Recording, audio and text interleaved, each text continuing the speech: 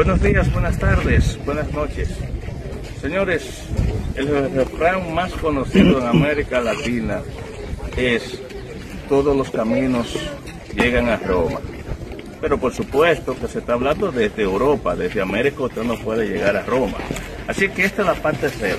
Esto que está aquí, miren aquí, esta es la parte cero de Roma. Toda la distancia de todos los países se dirigían desde aquí. Parte cero, de aquí se decía cuánta distancia había desde Roma a una ciudad. Entonces por eso se decía, todos los caminos llegan a Roma.